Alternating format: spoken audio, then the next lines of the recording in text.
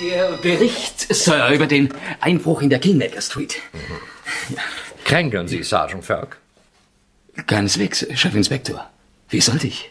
Ihre Eile hat etwas Fieberhaftes. Sir. Sonst muss ich auf Ihre Berichte Wochen warten. Ich gehe morgen in Urlaub, Sir. Ach? Ach ja. Werden Sie verreisen, Sergeant? Nach Harwick Castle, Sir. Harwick Castle? Ah, waren vorigen Jahr in der Gegend. Sie sollten im blutigen Richard wohnen. Akzeptables Hotel. Allerdings äh, für Sie wohl etwas teuer. Kein Hotel, Chefinspektor. Ich bin Gast des Schlossherrn. Direkt auf Harwick Castle. Bei Lord Harwick? Sergeant. Seine Lordschaft freut sich auf meinen Besuch. Ach nee. Und danach hat die Queen Sie auf ihren Sommersitz nach Schottland eingeladen. Sie belieben zu scherzen, Sir. Oder? Sergeant, die Polizei hat keine Leute. Arbeiten Sie gar im Urlaub? Vielleicht als Bewacher oder als Detektiv bei Lord Herrick? Schwarzarbeit, Sie? Das dürften Sie nicht als Beamter. Aber Chefinspektor, ich bin Gast seiner Lordschaft. Ich darf seine Bibliothek nutzen. Es ist die umfangreichste Gruselkrimisammlung des Empires. Wenn ich aus Ihrem Mund schon das Wort Krimi höre. Und seine Lordschaft hat natürlich nicht den kleinen Sergeant Falk eingeladen. Woher sollte den kennen? Ach so, so. dann reisen Sie also als... Äh Jawohl, Sir, ich... Ich reise unter meinem Pseudonym als Schriftsteller, als der nicht mehr ganz unbekannte Autor Conan Coyle. Sergeant Falk, Sie kennen meine Meinung über Ihre literarischen Ambitionen. Mich wundert nur, dass ein Lord Herrick... Seine Lordschaft versteht etwas von guter Literatur. Hm, nur gut, dass Sie ein Pseudonym benutzen. Sie wollen also einen Leseurlaub machen. Einen Studienurlaub, Sir. Ich plane einen neuen Kriminalroman und darin sollen... Gut, gut, Sergeant. Lesen Sie, lesen Sie. Nur eins. Bleiben Sie der Schriftsteller Conan Coyle. Selbstverständlich, Herr Chefinspektor. Bitte, werden Sie nicht Kriminalsergeant. Wittern Sie keine Verbrechen. Auf Harry Castle heult allenfalls ein Schlossgespenst. Keine Eigenmächtigkeiten, wenn ich bitten darf. Keine Alleingänge, Sergeant. Aber Chefinspektor... Lord Herrick dürfte dafür wenig Verständnis zeigen. Und äh, er ist ein einflussreicher Mann. Ich werde keinen Grund haben, mein Inkognito zu lüften. Gespenster morden nicht, Sir.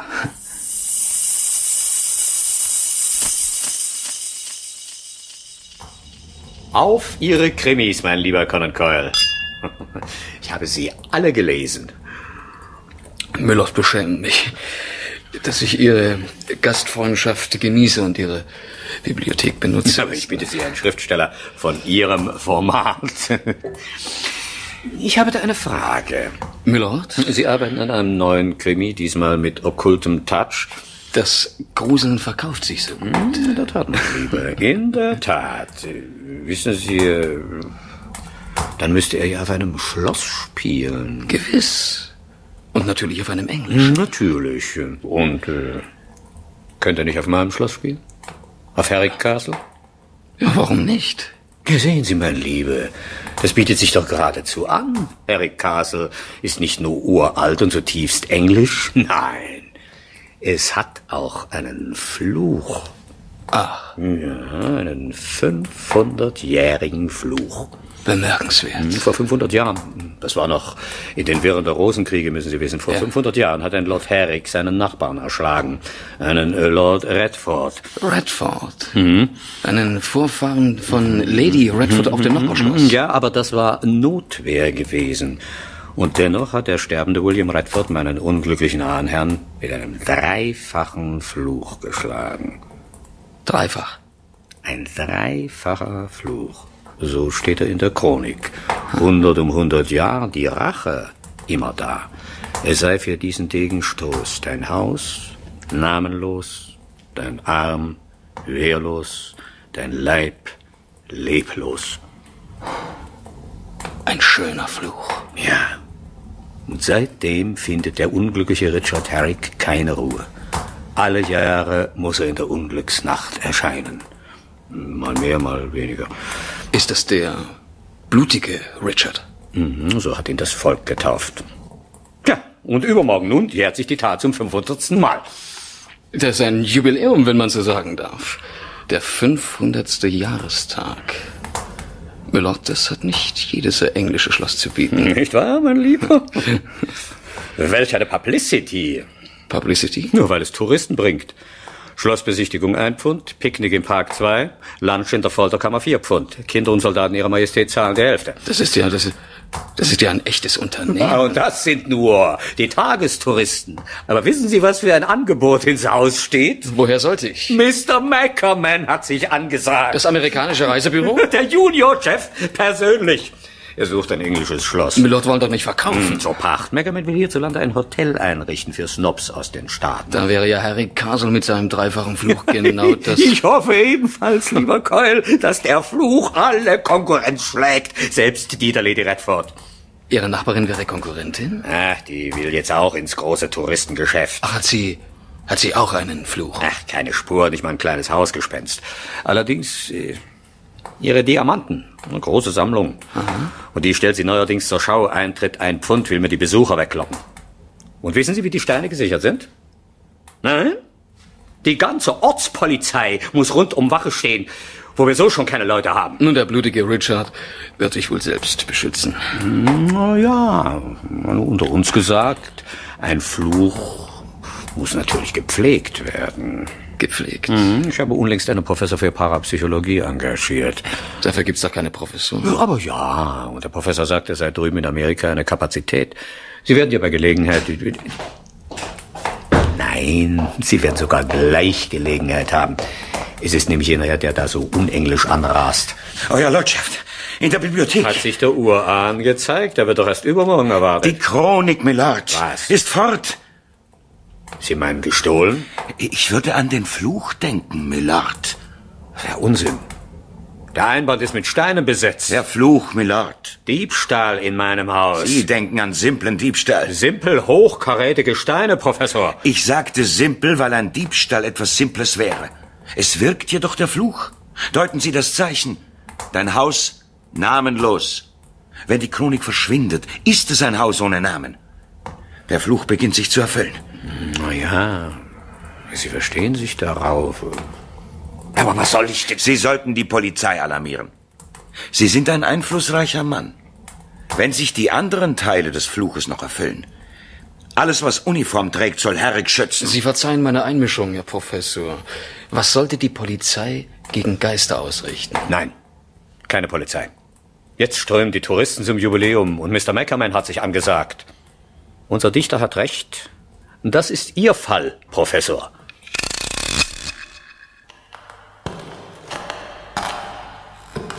Wenn ich Sie recht verstehe, Mr. Mackerman, wollen Sie in unserer Gegend altenglische Schlösser für Ihr Reiseunternehmen pachten? Ein Schloss, Milady. Vorerst nur ein Schloss. Und da ist Ihre Wahl auf Redford Castle gefallen? Ich habe mich noch nicht entschieden, Milady. Es wäre aber eine gute Wahl. Historische Größe und Schönheit. Sehen Sie? Einzig. Einzig. Die Redfordsche Diamantensammlung. Ich mache sie seit einiger Zeit auch den gewöhnlichen Touristen zugänglich. Ich sammle selbst. Ich, ich verstehe was. Das ist, äh, Milady, das ist, das ist schön. Eben, Mr. Mackerman. Hier könnten Ihre Gäste das Essen einnehmen, umgeben von Diamanten. So speist nicht einmal die Queen. Gewiss, eine Offerte für Verwöhnte. Aber unsere Kunden sind schon so verwöhnt, sie wünschen von Altengland noch etwas. Noch mehr? Sie möchten sich auch etwas gruseln. Natürlich auf die feine englische Art. Dann, Mr. Mackerman, bauen wir eben den Folterkeller zur Bar aus. Ah, Folterkeller. Ich dachte eigentlich mehr an so eine Art Geist, wissen Sie. Haben Sie keinen spukenden Uran? Das müsste man inszenieren. Es sollte eigentlich ein echter Geist sein, wissen Sie. Sowas wie der blutige Richard bei Ihrem Nachbarn Herrick. Ich denke, Sie kommen aus den USA. Da glauben Sie an derartigen Mumpitz? Man hat mir aber versichert, Milady. Das ist Reklame. Alles Reklame. Herrick schreckt vor nichts zurück. Wie sein Ahnherr. Hat sich gleich in den Vorstand der Gesellschaft historischer Städten Altenglands wählen lassen. Wohin bitte?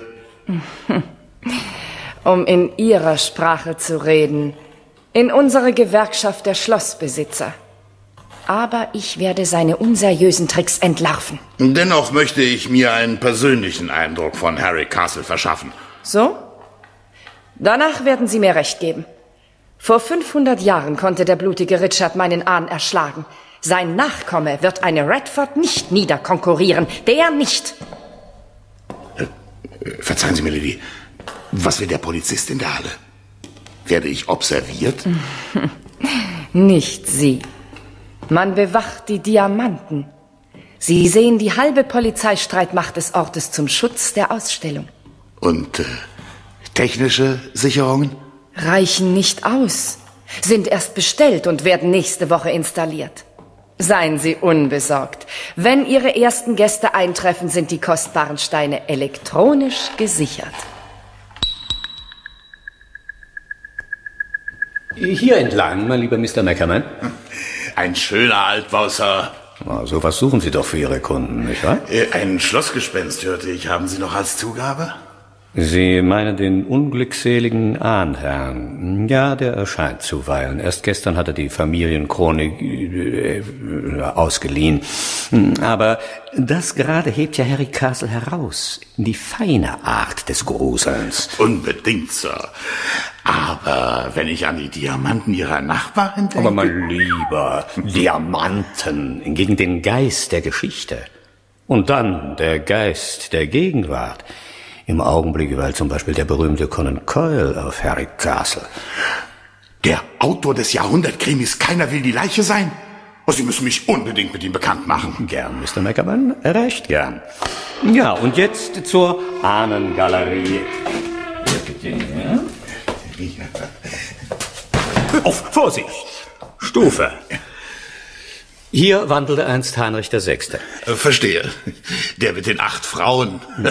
Nun, Heinrich VI. hatte nur eine Gemahlin und führte ein strenges Leben. Sie meinen Heinrich den Achten. Der hatte sechs Frauen. Und führte vermutlich ein sehr angenehmes Leben. Diese Bilder, das ist die lange Reihe der Herricks, hier das Bild des Richard Herrick, des vom Fluch geschlagenen Vorfahren, daneben das Schwert der Familie. Welches Schwert? Na hier, wo... Was soll das? Wo ist das Schwert? Das Familienschwert ist fort. Hat sich vielleicht auch der Ahnherr ausgeliehen, Sir? Mein Gott, der Fluch, dein Arm wehrlos. Sollte tatsächlich... Mr. Coyle, Sie sind Krimi-Autor? Schreiben auch Gruselkrimis. Man muss mit der Mode gehen, Herr Professor. Sind ja im rechten Moment auf Harry Castle. Ja, da haben Sie recht. Die Bibliothek ist einzig. Ich wünschte, ich hätte... Ich äh, dachte mir an die mysteriösen Vorkommnisse. Sie meinen die äh, Diebstähle, die Chronik und nun auch noch das Schwert. Sie denken wie der Lord. Diebstahl. Na, immerhin, der Bucheinband und der Schwertgriff waren mit wertvollen Steinen besetzt. Der Lord meint, das hätte Lady Redford angestiftet. Ach was. Konkurrenzangst. Der Lord hätte ebenso gut auf den Herrn mit dem unmöglichen Jackett tippen können, auf diesen Meckerman. Soll bei uns in den Staaten ein großer Edelsteinsammler sein. Brauchte sich nur einen Langfinger gemietet zu haben. So. Meckerman sammelt ebenfalls Steinchen. Das wusste ich nicht. Können Sie wieder vergessen. Der war's auch nicht. Ich werde Ihnen sagen, was hier geschieht. Der Fluch der Herricks erfüllt sich am letzten des Geschlechts. Dein Haus? Namenlos. Die Chronik verschwindet. Dein Arm? Wehrlos. Das Schwert ist fort. Dann stünde jetzt also der dritte Fluch ins Haus. Sie spotten, Mr. Coyle, aber ich sage allerdings, dein Leib leblos. Es riecht nach Blut und er lacht.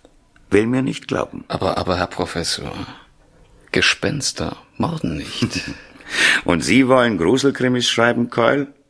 Ihnen fehlen ja die elementarsten Kenntnisse des Okkulten. Was wollen Sie denn seiner Lordschaft raten? Sofortige Abreise, Drudenfüße oder den Priester holen? Die Polizei muss her. Polizei gegen Gespenster. Und Sie sind Parapsychologe. Eben deshalb sage ich das, Mr. Coyle. Es gibt eine Grundregel. Gespenster lieben das Verbrechen, aber sie fürchten die Polizei. Nein. Ja, das ist nämlich mein Spezialgebiet. Habe darüber geforscht und publiziert. Nehmen Sie Ihren Scotland Yard. Uraltes Haus.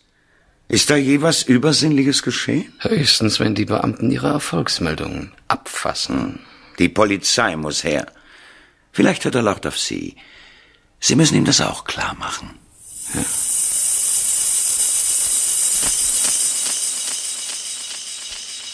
Dass ich gerade Sie in England hab treffen dürfen, Meister. Aber, Mr. Meckerman. Nein, Sie wissen nicht, was es mir bedeutet. Conan Coyle persönlich. Ich verschlinge Ihre Bücher. Und unser Unternehmen empfiehlt sie als Reiselektüre. Oh, das ehrt mich. Aber auf Harry Castle brauchen Sie keinen Krimi zu lesen, hier geraten Sie selbst in die Rätsel. Nicht wahr? Ich finde das auch alles sehr merkwürdig. Was sagen Sie denn als Kriminalautor dazu? Ja, ich weiß nicht recht. Wer hätte schon Interesse? War doch der Lord selber. Will sein Schloss interessant machen. Hausgeist als Langfinger. Und äh, alle Schlösser sollen interessant sein, wenn ein Meckerman kommt. War der Lord glasklar, hätte sonst längst die Polizei geholt. Meinen Sie? Na, todsicher. Er weiß genau, dass niemand gestohlen hat. Brauchte also keine Polizei. Wäre ein Stoff für Sie, Meister. Vielleicht betrügt er noch die Versicherung. Erinnert mich an Ihren Roman Keiner meuchelt so wie du. Aber der Professor Rowland sagt, der Fluch erfüllt sich. Hören Sie auf mit dem. Das scheint erst ein Windhund zu sein. Lässt sich von Herrick für Imagepflege in Gruselrichtung bezahlen. Erinnert sehr an die brillanten Lady aus ihrem Buch Zwei blaue Bohnen für dich. Oh, das war ein Krimi. Kennen Sie den Pfarrerpsychologen? Sehen Sie, Meister, das ist auch so eine Merkwürdigkeit von Harry Castle. Ich hätte wetten können, dass ich den kenne. War mal eine Transaktion in den Staaten. Will ihn hier begrüßen, wie ich ihn sehe? Da kennt er mich nicht. Hätte mich nie gesehen. Dann haben Sie sich geirrt. Das ist natürlich möglich. Bleibt aber merkwürdig. Steckt sicher mit dem Lord unter einer Decke. Können Sie daran vorbeigehen? Wieso ich? Ein Krimi-Autor kann an keinem Rätsel vorbei. Haben Sie selbst beschrieben, in Wer stirbt, hat mehr vom Leben. Wollen Sie nun Eric Castle pachten und als Nobelhotel einrichten? Ich glaube nicht. Unsere Kunden wollen sich in England äh, etwas gruseln, aber nicht die Preziosen verlieren. Sie sind doch ein Detektiv, Mr. Coyle. Was? Ich? Detektiv? Äh, wissen Sie, Milord? Äh, Mein Lieber, ich meine, jeder gute Krimi-Autor hat detektivischen Spürsinn. Ach so, ja, ja, den muss er wohl haben, schon um die Honorare einzutreiben. Ja, deshalb wäre mir Ihr Rat jetzt so wichtig.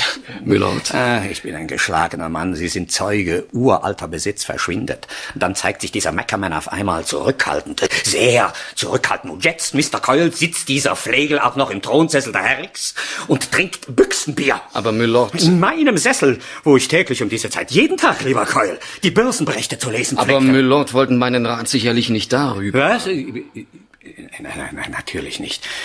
Äh, Die Sache ist sehr delikat. Sie haben gesehen, erst die Chronik, jetzt das Schwert. Und nun fürchten Sie den dritten Fluch. Wissen Sie, ich kann daran nicht glauben. Noch dazu, wo der Professor eine so komische Theorie vertritt, gegen Geister hilft Polizeischutz. Was soll das? Dann sollten wir an die Edelsteine denken. Nicht wahr? Sehen Sie, das hab ich mir auch überlegt. Die Edelsteine. Und da käme nur eine in Frage, Lady Redford. Ah, ich kenne Ihre Nachbarin nicht, aber wird sie persönlich? Persönlich natürlich nicht. Das Schwert war elektrisch gesichert, das kann nur ein Spezialist, aber heutzutage kann man doch alles kaufen.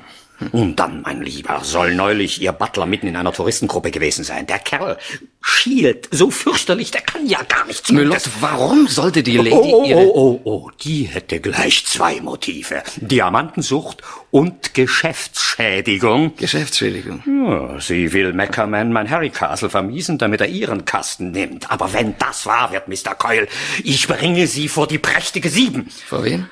Vor den Vorstand der Schlossbesitzergewerkschaft. Dann werden wir ja sehen. Und die Polizei? Nein, nein, nein, bloß nicht. Die schnüffelt herum und sperrt womöglich die Touristen aus. Gerade während des Fluchjubiläums. Und wer ersetzt mir die Einnahmeverluste? Ja, was sollte ich Ihnen denn nun raten? Ja, das ist eben sehr delikat. Es müsste ganz unauffällig sein. Was denn? Man müsste unauffällig herausbekommen, ob wirklich die Lady dahinter steckt. Wissen Sie nicht? äh, Oder könnten Sie nicht selbst? Ich bin kein Detektiv, Na eben darum und doch ein Fachmann. Ich müsste darüber nachdenken. Hören Sie? Das kommt doch aus der Bibliothek. Kommen Sie, schnell! Meckerman! Helfen Sie mir doch. Kommen Sie, kommen Sie! Der blutige Richard? Die Statue. Sie, sie hätte mich fast erschlagen. Um ein Haar. Wie ist das passiert? Weiß nicht. Trink mein Bier, hör ein Geräusch. Da kommt die Figur. Ich, ich habe mich zur Seite geworfen. Kolossales Gewicht. Der Sessel ist hin. Das Parkett muss repariert werden. Ich wäre kein schöner Anblick für Sie gewesen, meine Herren. Die Tate, die kann doch nicht von allein. Sie kann doch nicht von allein fallen. Das war ein Anschlag, der galt mir, mir. Wieso Ihnen, Milord? Ich sitze sonst hier jeden Tag, immer zu der Zeit. Dann wollte Sie der eigene Vorfahr erschlagen? Dein Leib leblos. Nein, ich will nicht, ich will nicht. Telefon, Telefon. Hallo, hallo, hallo. Herr Sergeant? Na, endlich. Wer? Na, hier spricht Lord Herrick. Natürlich. Was ich will. Polizeischutz! Oh, sind Sie der neue Polizist? Ohne Uniform? Aber dafür sind Sie so angenehm jung. Sie haben mich erwartet, Milady? Selbstverständlich, junger Mann. Es geht ja wohl nicht an, die Wache von Radford Castle abzuziehen. Aber ich habe am Nachmittag mit Ihrem Chef gesprochen. Aha. Was hat er gesagt? Er brauche heute Nacht alle verfügbaren Kräfte zum Schutze des Lords. Des Lords. Dem hab ich was erzählt. Aber eine Wache hat er nicht geschickt. Ich denke, das sind Sie. Nicht direkt, Milady. Nicht? Müssen Sie ebenfalls den Lord schützen gehen? Nein, Milady, ich komme gerade von Harwick Castle. Ach. Wer sind Sie überhaupt? Bitte, Milady, hier meine Karte Kriminalsergeant Falk. Kriminalpolizei. Für Radford Castle als Wache. Aber junger Mann, das war doch nicht nötig. Ein einfacher Polizist hätte es auch getan. Ich bin auch kein Wachmann. Nein? Weswegen sind Sie dann gekommen? Ich brauche Gewissheit. Hier, auf Radford Castle. Tja, Milady, die Vorfälle bei Ihrem Nachbarn weisen in eine Richtung. Wollen Sie sagen, ich hätte etwas mit den Vorfällen bei meinem Nachbarn zu tun? Indirekt schon. Junger Mann. Ich werde mich beschweren. Ich werde den Yacht anrufen. Ich werde. Das wäre nun wieder sehr ungerecht. Milady, wenn ich Gewissheit habe, sind Ihre Diamanten gerettet. Gerettet? Vor wem? Erst beschuldigen Sie mich und dann erschrecken Sie mich zu Tode. Was ist mit den Radfahrt-Diamanten? Ich hoffe, sie liegen immer noch in den Vitrinen im Saal nebenan. Oh, wie reizend von Ihnen, das zu hoffen. Wo sollen sie denn sonst sein? Kaum, dass die Polizei den Rücken kehrt, geht's los. Nun sagen Sie doch etwas und schweigen Sie nicht pausenlos. Aber Milady, ich will Ihnen ja gerade erklären. Dann beginnen Sie doch endlich. Auf Harry Castle scheint man sich sehr für Ihre Diamanten zu interessieren. Die Harricks haben den Kanal nie voll bekommen können. Jedenfalls ist man so interessiert, dass man dafür gesorgt hat, die Polizei von Redford Castle abzuziehen, um ungestört einsteigen zu können. Seid Sie ganz still. Ich glaube, wir brauchen nicht mehr lange zu warten. Worauf denn? Um Gottes Willen ist das spannend. Ach, so stelle ich mir einen Krimi vor. Keinen Laut, Milady. Man ist schon gekommen. So habe ich mir das vorgestellt. Was passiert denn da draußen? Ach, wir müssen hin. Noch einen Moment. Man ist jetzt vor Ort und rafft die Steine. Aber dann müssen wir doch. Nur noch die kleine Wumme, das sieht besser aus. So, Milady, jetzt rasch. Genau wie ich mir das dachte. Bleiben Sie stehen. Legen Sie die Tasche ab. So. Und jetzt die Hände etwas höher. Professor Roland.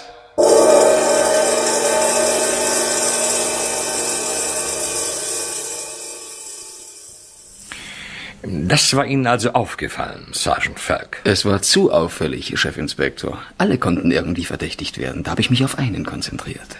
Und warum? Weil der als einziger nach der Polizei rief. Und das, obwohl er als Parapsychologe auftrat. Er war nicht einmal Parapsychologe? Keine Spur, Chefinspektor.